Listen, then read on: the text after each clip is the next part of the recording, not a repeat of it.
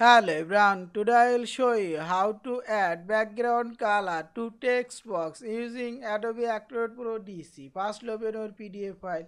This is my PDF file I have already opened.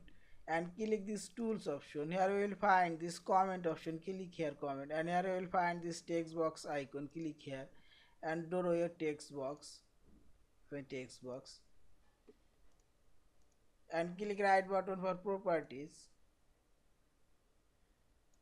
this text box background color is empty. Now click this fill color option and select here any of this color. Also I choose this color. Also you can choose other color here. Is custom color.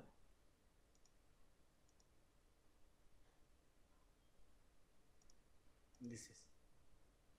Also you can change this border color and border line thickness and you can change opacity.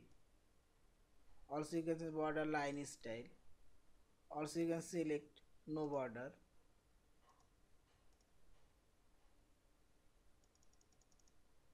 Now click ok. And finally click file option save or save as your pdf file. Thank you for watching. Please subscribe like share and comments